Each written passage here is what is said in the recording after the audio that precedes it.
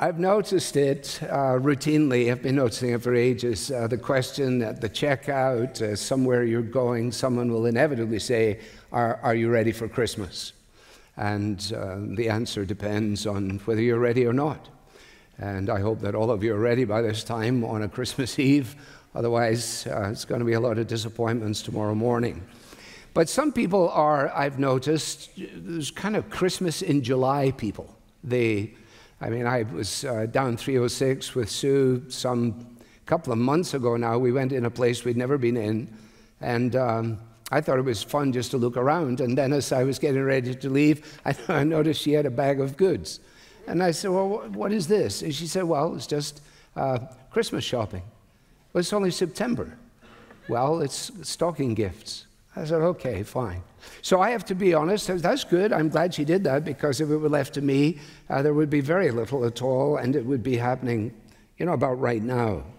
Um, because I'm definitely a December planner. But you know, when you read these stories, and we've been reading mainly in the Gospel of Luke, haven't we? Uh, we might wonder uh, what's God's timing when it comes to Christmas? I mean, would you say that uh, God is a kind of December planner? Or do you think he's planning a little earlier than that? The fact of the matter is that the readings from both Matthew and Luke would suggest, on first glance, that uh, the story of Christmas actually begins as you turn from the last page of the Old Testament into the first page of the New Testament. But in fact, nothing could be further from the truth. And one of the reasons that I thought it would be nice for everybody to be given a copy of John's Gospel this evening upon arrival, and I hope that you did, and if not, that you'll take it as you go, is simply because in the Gospel of John, unlike Matthew and Luke, uh, there are no shepherds, there are no wise men, there's no manger scene. So, where is John starting from? Well, actually, he's starting even before anything in the Old Testament. The beginning of the Gospel of John begins in the same way as the book of Genesis begins. Genesis begins in the beginning, God created the heavens and the earth. The Gospel of John begins in the beginning, the Word was with God, and the Word was God. Telling us that, in fact, from before even time began, it was God's plan and purpose to provide for a rebellious world the gift of a Savior. That he was sending into the world, as John says in his prologue, he was sending the true light into the world, which gives light to everyone in the world. And that's why when we read in the Old Testament, we discover these little hints and pointers along the way that we're saying to ourselves, now this is pointing us to something. Well, it is pointing not simply to something, but it's pointing to someone. But you, Bethlehem, in the prophecy of Micah, though you be the least of all the places in the, in the world, out of you will come one who will be the, the ruler of my people Israel. Perhaps more familiar to those of us who know the Messiah. Unto us a child is born and a son is given, and the government will be upon his shoulder. Anybody just reading that thoughtfully has got to say, and where is this heading? Well, it's heading to the unfolding of God's revealing of himself. Uh, the Bible makes clear that God has made himself known in the world that he has made. He has made himself known in his word that he has given to us to ponder. And he has made himself known finally and savingly in the person of his Son. Again, in the opening part of the Gospel of John here, John makes perfectly clear no one has ever seen God. No one has ever seen God. God is completely and infinitely beyond us. It is not for us to be able to access Him on our own time or on our own terms. But God Himself chooses to make Himself known. He shows up, if you like. And the story of Christmas is essentially beyond comprehension that God has, in the person of Jesus, moved into our neighborhood. Now, I just have two verses that I want to put on the screen, and the first of these is this this is the 14th verse of John 1. And the Word became flesh and dwelled among us, and we have seen his glory, glory as of the only Son from the Father, full of grace and truth. John simply states it as a fact, causing us to ponder, meditate, if you like, on this fact that Jesus was born in the same fashion as any one of us is born, but he was God's eternal Son. So, unlike us, he did not start to exist a few months before his arrival because he was always God's Son. You see, if you start your Christmas, as it were, simply with uh, mangers and angels and a little dose of sentimentality, I think it's relatively easy to dismiss it for all kinds of reasons good reasons, bad reasons, but it is relatively easy to do. What is far harder to ponder is the notion that somehow or another, out of eternity, God takes the initiative to step into time, and in such a strange way. To be born to a lowly Hebrew girl, probably maybe 16, 17.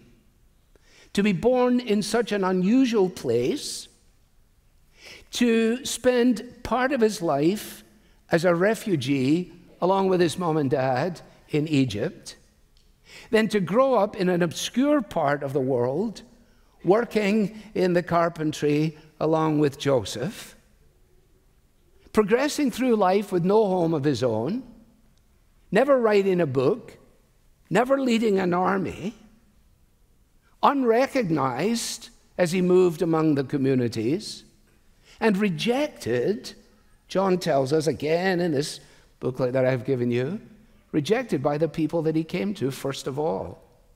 And of course, it leads inevitably to the cross of Jesus Christ. And as he anticipates the cross, he prays in this way Now is my soul troubled. He's praying to his Father. Now is my soul troubled, and what shall I say? Father, save me from this hour? But for this purpose I have come to this hour. What are you to possibly make of all of that?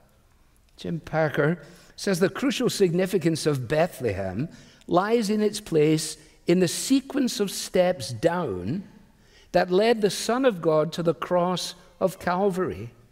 And we do not understand it till we see it in this context in short order. It's virtually impossible to get an angle on Christmas without seeing it through the prism of Easter. For the reason for the coming of Jesus was ultimately not to live, but was to die. That's what the Bible says. That brings me to my second and final verse, this time from uh, 2 Corinthians chapter 8. And Paul, once Saul of Tarsus, whose life was changed by this Jesus, is encouraging the people to whom he writes in the realm of generosity. And in seeking to do so, he gives us this amazing statement For you know the grace of our Lord Jesus Christ, that though he was rich, yet for your sake he became poor, so that you, by his poverty, might become rich. For you know the grace of our Lord Jesus Christ. C.S. Lewis, at a meeting in Oxford years ago, was in conversation with a number of people, and somebody said to him, um, how, how would you explain the difference between Christianity and other world religions? To which Lewis replied, That's easy. One word grace. Grace. Every other encounter with religion starts from here in an attempt to find God to appease God, to please God, to be accepted by God. The story of Christianity is the exact reverse.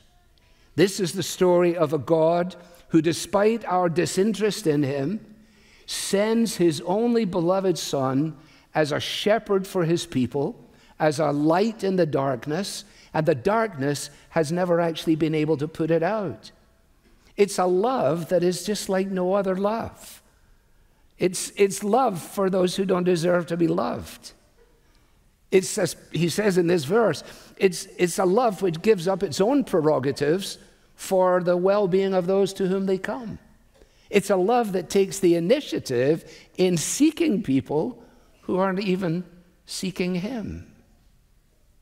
In short order, Jesus gave Himself up for us. You see, that's why, unless you get to Easter, you still don't know what to do with Christmas. Well, this seems very nice. It's a nice story. And people dismiss it easily. Say, well, it's a sort of thing for the children. You know, it's, it's nice for the children. They damn it with faint praise. Oh, no, it's far more demanding than that, isn't it? You see, what we've been singing about tonight, and some of us perhaps uh, maybe skipping words, I don't know, maybe wincing, but we've been singing about the idea of our position before a holy God, and the position is, is, is uh, described in terms of sin.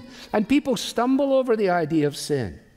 They've got the idea that somehow or another sin is doing just doing a lot of really bad things, and you can flip that if you try and do as many good things. But sin actually is a condition. Doing bad things is a symptom. You don't want a physician that only treats the symptoms. You want a physician that goes to the source. However painful the diagnosis may be, that's the best of doctors. Here is where the predicament lies, and here is the answer to your condition. That's the coming of Jesus. We place ourselves where God deserves to be in control, on the throne, determining our own destiny. And the story of Christmas is that God places himself where we deserve to be in the place of punishment. Now, I want to stop, but I want to say just one other thing. Uh, uh just a word to the skeptic, uh, the person that says, Well, I can tell you're relatively sincere about this, but I really, I'm, I'm not tracking with you. If Christianity is false, it is of no importance. If Christianity is false, it is of no importance. If Christianity is true, it is of supreme, it is of infinite importance.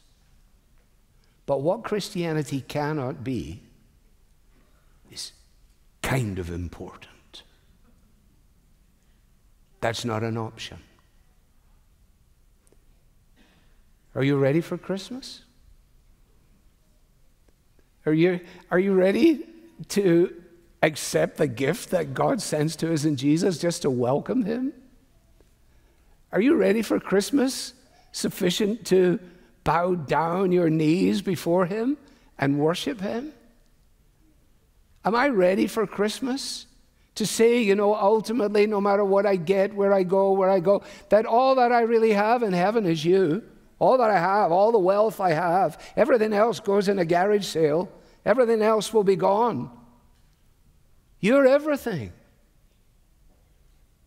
Do you know the grace of our Lord Jesus Christ that though he was rich, yet for your sake he became poor, so that you, through his poverty, might know all the riches?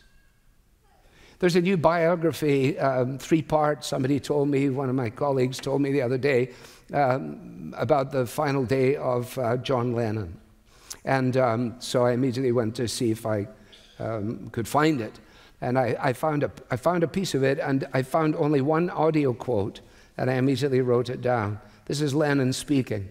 He says, The Beatles had all the fame they wanted, all the money they wanted, and we found out we had nothing. See, he goes from the third person to the first person, sings. The Beatles, he says, had all the fame, all the money. Then he goes personal. And we found out we had nothing. Where did they go? Where they went? To the Maharishi Yogi. They went to Eastern mysticism. One of the reasons they didn't go to Christians, I would say, from the other side of the ocean, is because the Christians were obnoxious. They didn't like that long hair. They didn't like those dreadful lyrics like, I want to hold your hand. I want to hold your ha ha ha ha hand. I want to hold your hand. They, could, they couldn't cope with that. Do you remember the scenes? Do you remember the scenes where they burned, they burned the Beatles albums? It'd be pretty hard, I would think, for John, Paul, George, or Ringo, as they stand there watching their life's work going up in flames, to hear somebody say, you know, I'd like to invite you to an evangelistic carol service. They're like, you've got to be out of your mind. You're a Christian? You've welcomed him? You worship him? You found your wealth in him? Then let's go out. Tomorrow's the new day. Let's go out into our broken culture. Let's go into the unfulfilled lives of the well heeled and tell them the greatest story the world has ever known that He stepped down into time to forgive us, to fill us, to use us. A brief prayer together.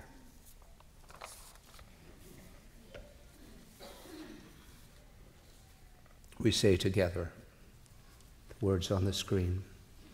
Gracious and triune God, Father, Son, and Holy Spirit, we praise you that your glory shone out in highest heaven when Jesus the Son was born.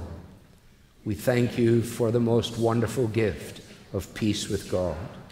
We humbly bow before your kindness and acknowledge that all these blessings are your undeserved kindness to us in Jesus. We praise you in Jesus' name. Amen.